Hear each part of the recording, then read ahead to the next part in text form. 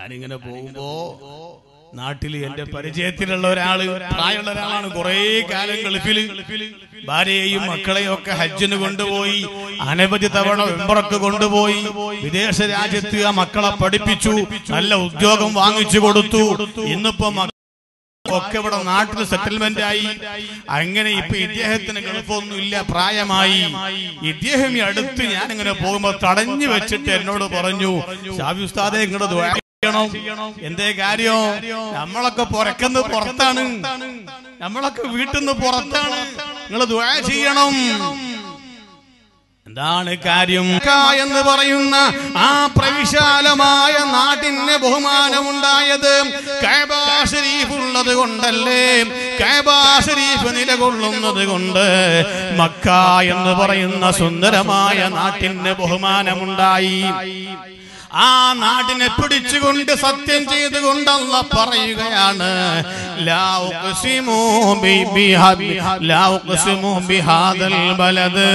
ഈ മക്ക എന്ന് പറയുന്ന ഈ നാട്ടിനെ പിടിച്ചുകൊണ്ട് ഞാൻ സത്യം ചെയ്ത് പറയുന്നു എന്ന് പറഞ്ഞുകൊണ്ട് പിന്നെ പറയുന്നത്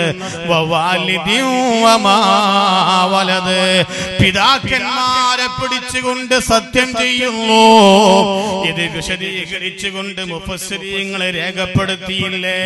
മക്കയെ പിടിച്ചുകൊണ്ട് സത്യം ചെയ്ത ഉടനെ ബാപ്പമാരെ പിടിച്ചുകൊണ്ട് സത്യം ചെയ്തെങ്കിൽ അതിന്റെ പിന്നിലുള്ള ബന്ധം എന്താണെന്ന് മുപ്പശ്രീങ്ങൾ ചർച്ച ചെയ്യുകയാണ്.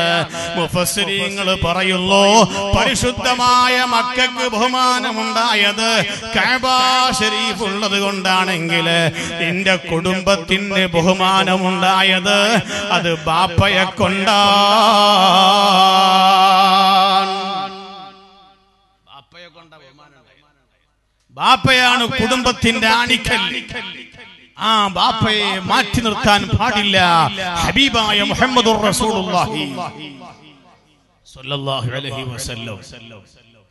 മുജിബിറായ വലി എന്നാണ് ഫിഖഹിന്റെ കിതാബിൽ വാപ്പാനെ പറ്റി പറയാ. മുജിബിറായ വലി എന്ന് പറഞ്ഞാൽ സ്വന്തം മകളെ നിക്കാഹ് ചെയ്തു കൊടുക്കാൻ മകളുടെ അനുമതിയില്ലാതെ നിക്കാഹ് ചെയ്തു കൊടുക്കാൻ ലോകത്ത് അധികാരമുള്ള ഒരേ ഒരാൾ ബാപ്പയാണ്. അമ്മാവനുണ്ട് സഹോദരനുണ്ട് ഉപ്പാപ്പയുണ്ട്. നിക്കാഹ് ചെയ്തു കൊടുക്കണോ? ബാപ്പയില്ല ബാപ്പ മരിച്ചു പോയിട്ടുണ്ട്. എന്നാൽ ഈ പെൺകുട്ടിയോട് സമ്മതം വാങ്ങണം. അങ്ങനെ ലോകത്ത് പിതാവിന്റെ സമ്മതം ചോദിക്കാതെ നിക്കാഹ് ചെയ്ത് കൊടുക്കാൻ അധികാരമുള്ള ഒരേ ഒരാൾ. ഇത് ബാപ്പയാ. കുഞ്ഞുങ്ങൾക്ക് മതി എന്ന് പേര് ഞാൻ വെച്ചിരിക്കുന്നു. അള്ളാഹു കബൂൽ ചെയ്യട്ടെ. ഇങ്ങനെ പേര്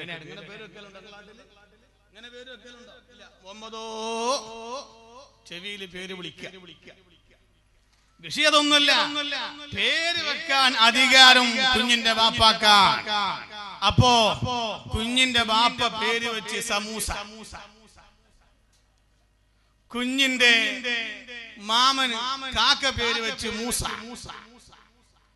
മൂസ നല്ല പേരാണ്. പക്ഷേ ബാപ്പ വെച്ച പേര് സമൂസ. എന്നാലോ? അള്ളാഹുവിന്റെ അരികിൽ സ്വീകരിക്കപ്പെട്ട പേര് ബാപ്പ വെച്ച സമൂസയാണ്. ബാപ്പാക്കാണ് അധികാരമുള്ളത്. ആ ബാപ്പയെ ബഹുമാനിച്ചു കൊള്ളണം. ഹബീബായ മുഹമ്മദുർ റസൂലുള്ളാഹി സ്വല്ലല്ലാഹു അലൈഹി വസല്ലമ തങ്ങളെ സമീപത്തൊരു സുഹാബി വരുന്നു. ചെറുപ്പക്കാരനായ സുഹാബിയാണ് വന്നുകൊണ്ട് പറയുന്നു യാ റസൂലല്ലാ നബിയേ എന്റെ ബാപ്പയെ നിങ്ങളൊന്ന് വിളിക്കണം. എന്റെ ബാപ്പയെ നിങ്ങളൊന്ന് ഉപദേശിക്കണം. എന്റെ പോക്കറ്റിൽ നിന്ന് പലപ്പോഴും എന്റെ ബാപ്പ കാശെടുക്കുന്നു. ഞാൻ അറിയാതെ കാശ് മോഷ്ടിക്കുന്നു. ഞാൻ എന്റെ ബാപ്പയെ കൊണ്ട് വല്ലാതെ ബുദ്ധിമുട്ടിപ്പോയി. അതുകൊണ്ടൊന്ന് വിളിച്ചു ഉപദേശിക്കണം നബിയേ. ഹബീബായ മുഹമ്മദ് റസൂലുള്ളാഹി. അലൈഹി വസല്ലമ ബാപ്പയോടൊന്ന് വരാൻ വേണ്ടി പറയുന്നു. ആരോഗ്യമൊക്കെ ക്ഷയിച്ചു പോയ വളരെ ക്ഷീണിച്ച അവശനായ മെലിഞ്ഞ വളഞ്ഞ ആ പിതാവ് നടക്കാൻ കഴിയാതെ ശ്വാസം മുട്ടിയിട്ട് നടക്കാൻ കഴിയാതെ മിണ്ടാൻ കഴിയാതെ ഇലാഹുറത്തി റസൂലില്ലാ. നബി സല്ലല്ലാഹു അലൈഹി വസല്ലമ തങ്ങളെ മുന്നിൽ വന്നിട്ട് ഒരു സലാം പോലും നേരെ പറയാൻ ആ പിതാവിന് സാധിക്കുന്നില്ല. ആ പിതാവ് ഇങ്ങനെ ശ്വാസം മുട്ടിയിട്ട് ബുദ്ധിമുട്ടുകയാണ്. അതാ സലാം അങ്ങ് പറഞ്ഞ് ഒപ്പിക്കുകയാണ്. വസല്ലമ തങ്ങൾ ആ പിതാവിനോട് പറഞ്ഞു ഉപ്പാ നിങ്ങളെ പ്രയാസം ഞാൻ അറിഞ്ഞിരുന്നില്ല. നിങ്ങളെ രോഗിയായിരുന്നെങ്കിൽ നടക്കാൻ ബുദ്ധിമുട്ടുണ്ടായിരുന്നെങ്കിൽ ഞാൻ ഇങ്ങ് വിളിക്കുമായിരുന്നില്ല. ഒരു പ്രധാനപ്പെട്ട ഒരു പരാതി മകനും പറഞ്ഞത് കൊണ്ടാ നിങ്ങളെ വിളിച്ചിരിക്കുന്നത്. തങ്ങളുടെ മകന് ഒരു പരാതി പറഞ്ഞിട്ടുണ്ട് ഉപ്പാ. എന്ന് പറഞ്ഞിട്ട് മകൻ പറഞ്ഞ പരാതി ബാപ്പയുടെ മുന്നിലങ്ങ് നിവർത്തി വെച്ചപ്പോൾ ആ ബാപ്പയങ്ങ് കരയാൻ തുടങ്ങി. ആ പിതാവ് കരഞ്ഞുകൊണ്ട് പറഞ്ഞു യാ റസൂലല്ലാ അങ്ങയോട് എന്റെ മകൻ വന്നത് പറഞ്ഞോ നബിയേ ആ നിലക്ക് പരാതിപ്പെട്ടോ നബിയേ اليوم أنا ضعيف وهو قوي يا رسول الله اليوم أنا فقير وهو غني يا حبيب الله ഒരു കാലത്ത് ഈ പാവപ്പെട്ട ഞാൻ എന്റെ മകന് വേണ്ടി ജീവിച്ചതാ നബിയെ. ഇക്കാണുന്ന ആരോഗ്യമെല്ലാം ഈ മക്കയിലെ ഈ മദീനയിലെ കരിമ്പാറയിൽ കുഴിയെടുക്കാൻ കിണർ കുഴിക്കാൻ കല്ല് വെട്ടാൻ എന്റെ മകന് വേണ്ടി കഷ്ടപ്പെട്ട് അധ്വാനിച്ചിട്ടും ക്ഷീണിച്ചതാ നബിയേ.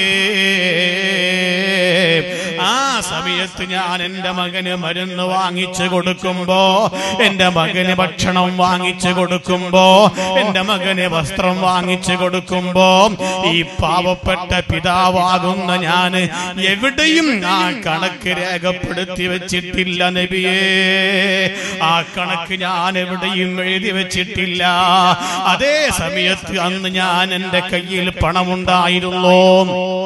അന്നവൻ അവൻ ദൈഫായിരുന്നു ബലഹീനനായിരുന്നു. അന്നവൻ ആരോഗ്യമില്ലാത്തവനായിരുന്നു പണമില്ലാത്തവനായിരുന്നു. അന്ന് ഞാൻ എന്റെ മകനെ സംരക്ഷിച്ചു. ഞാൻ അന്ന് എന്റെ മകന് ഭക്ഷണം കൊടുത്തു. ഞാൻ അന്ന് എന്റെ മകന് വേണ്ടതെല്ലാം കൊടുത്തു. അതേ സമയത്ത് ഇന്ന് ഞാൻ അശക്തനാണ് നബിയേ. അവൻ ശക്തനാണ് നബിയേ.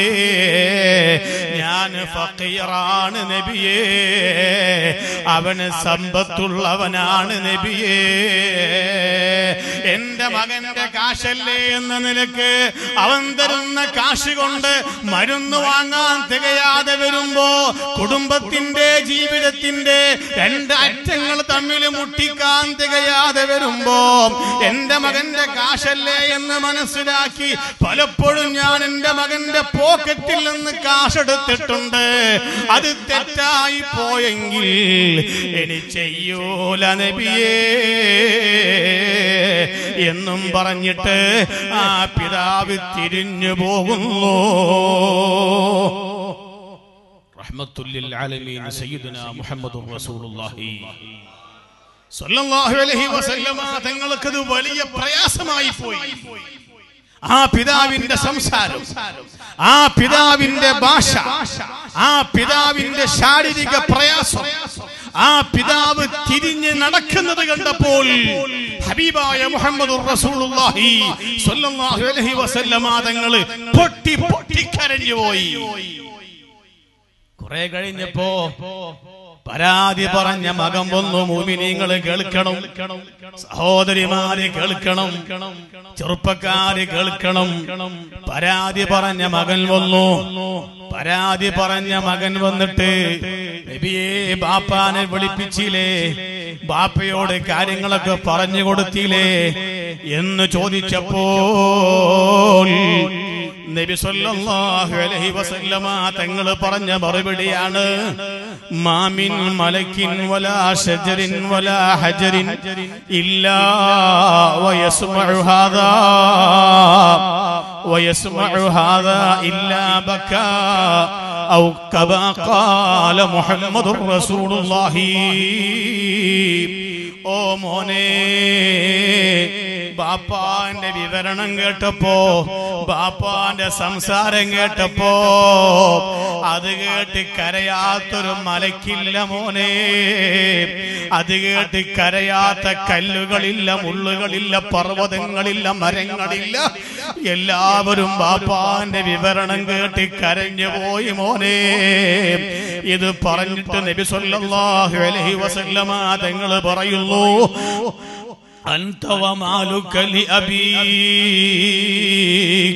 നീ മാത്രമല്ലടാ നിന്റെ ബാപ്പാന്റെത്. നീയും നിന്റെ സമ്പത്തും നിന്റെ ബാപ്പാക്കുള്ളതാണ് കേട്ടോ. ഓ ചെറുപ്പക്കാരെ. ഈ ഹദീസിന്റെ താഴെ ഒന്ന് വരക്കണം ആ ഹദീസിന്റെ മുന്നിൽ ചന്ദ്രം പടിയിരുന്നൊന്നിരിക്കണം. എന്നിട്ട് അതിന്റെ മുന്നിൽ ഒന്ന് താടക്ക് കൈവച്ചുകൊണ്ട് ചിന്തിക്കണം. അന്തവമാലുക്കലി അബീ. നീ മാത്രമല്ലടാ നിന്റെ ബാപ്പാന്റെത് നീയും നിന്റെ സമ്പത്തോ നിന്റെ ബാപ്പാക്കുള്ളതാ. നിന്റെ പോക്കറ്റിൽ നിന്ന് നിന്നോട് ചോദിക്കാതെ കാശെടുക്കാൻ നിന്റെ ഭാര്യക്ക് അധികാരമില്ല കേട്ടോ. അറിയുമോ നിങ്ങൾക്ക്? ഏഴ് വിഭാഗം പെണ്ണുങ്ങൾ ഹിസാബ് കൂടാതെ നരകത്തിലാണ്. ഹബീബായ മുഹമ്മദ് തങ്ങൾ പറഞ്ഞു എണ്ണിയപ്പോൾ അതിൽപ്പെട്ട ഒരു വിഭാഗം ആരാണ്? അതാ ഭർത്താവിനോട് അനുമതി വാങ്ങാതെ ഭർത്താവിന്റെ കാശെടുക്കുന്ന പെണ്ണാൻ. ഭർത്താവിന്റെ അനുമതിയില്ല. ഭർത്താവിന്റെ സമ്മതം ചോദിക്കാതെ ഭർത്താവിന്റെ കാശെടുക്കുന്നുണ്ടോ? ആ പെണ്ണ് ഹിസാബില്ലാതെ നരകത്തിലാണെന്ന് എന്നാൽ നിന്റെ പോക്കറ്റിൽ നിന്ന് നിന്നോട് ചോദിക്കാതെ കാശെടുക്കാൻ അധികാരമുള്ള ഒരാളുണ്ടെങ്കിൽ അത് നിന്റെ ബാപ്പയാണ് കേട്ടോ. അതാ ബാപ്പയോട് കണക്ക് ചോദിക്കരുത്. നിന്റെ പറമ്പിൽ കയറിയിട്ട് ഒരു പത്ത് തേങ്ങ നിന്നോട് ചോദിക്കാതെ ബാപ്പ എടുത്തിട്ട് മാർക്കറ്റിൽ കൊണ്ടുപോയി വിറ്റാൽ എന്തേ ബാപ്പ എന്നോടൊന്ന് പറയണ്ടേ? എന്ന് ചോദിക്കാൻ പാടില്ല കേട്ടോ. ഓ ചെറുപ്പക്കാരെ നമുക്കൊരു നേതൃത്വമുണ്ടല്ലോ. നമ്മൾ മറ്റു മതക്കാരെ പോലെയല്ലല്ലോ. നമുക്ക് എല്ലാറ്റിനും ഒരു നേതാവുണ്ടല്ലോ. ഹബീബായ മുഹമ്മദ് റസൂലുള്ളാഹി സ്വല്ലല്ലാഹു അലൈഹി വസല്ലം. ആ നിബിതങ്ങളുമായി നമ്മൾ കണക്ഷൻ കൊടുത്ത് ജീവിക്കണ്ടയോ? ചോദിച്ചോട്ടെ വലിയ ബംഗ്ലാവ് കെട്ടിയിട്ടുണ്ട്. വലിയ വീട് കെട്ടിയിട്ടുണ്ട് കൊട്ടാരം കെട്ടിയിട്ടുണ്ട്. അതിൽ നീ വയറിങ്ങിന്റെ പണികളൊക്കെ നടത്തിയിട്ടുണ്ട്. അതാ എല്ലാ പണികളും കഴിച്ചിട്ടുണ്ട്. ഞാൻ പറയട്ടെ കണക്ഷൻ കൊടുക്കാതെ അവിടെ വെളുപ്പ് കത്തുമോ? അവിടെ ഫാന് കറങ്ങുമോ? നീ ലക്ഷങ്ങൾ ചെലവഴിച്ചിട്ടുണ്ടെന്ന് പറഞ്ഞിട്ട് കാര്യമുണ്ടോ? നീ ലക്ഷങ്ങൾ ചെലവഴി ചെലവഴിച്ചിട്ട് അതാ ബാംഗ്ലൂരിലും കോഴിക്കോടും എറണാകുളത്തും പോയിട്ട് കൊണ്ടുവന്ന സാധനങ്ങളെ കൊണ്ടാണ് ഞാൻ എന്റെ വയറിങ് മുഴുവനും നടത്തിയതെന്ന് പറഞ്ഞിട്ട് ലൈറ്റ് കത്തണോ? ഫാന് കറങ്ങണോ? മോട്ടോർ വർക്ക് ചെയ്യണോ? കണക്ഷൻ കൊടുക്കണ്ടേ? എന്നാൽ ഇന്നത്തെ അവസ്ഥ എന്താണെന്നറിയുമോ? സുബാനുള്ള പേര് മുഹമ്മദാണ്. പേര് ഷാഫിയാണ്. നല്ല തറവാടിത്തമുള്ളവരാണ്. നല്ല കുടുംബത്തിൽ പിറന്നവരാണ്. നല്ല പത്രാസുള്ളവരാണ്. വീട്ടിന്റെ മുറ്റത്ത് നല്ല സുന്ദരമായ പേര് വീട്ടിന് വെച്ചിട്ടുണ്ട്. വീട്ടിന്റെ അകത്ത് കയറിയപ്പോൾ ആയത്തിൽ കുറിസിയുണ്ട് സൂറത്ത് യാസീനുണ്ട്. പലതും പലതും എഴുതി തൂക്കിയിട്ടുണ്ട്. പക്ഷേ ആ വീട്ടിന് മദീനയുമായി ഒരു കണക്ഷനുമില്ല ഓ ചെറുപ്പക്കാരെ അതുകൊണ്ട് പറയട്ടെ. ഒരു കണക്ഷൻ കൊടുക്കണ്ടേ മുഹമ്മദുർ റസൂലുള്ളാഹി. തങ്ങളോടല്ലേ അത്? ആ നേതാവാണ് പഠിപ്പിച്ചത്. അന്തവമാലു കലി അബീ.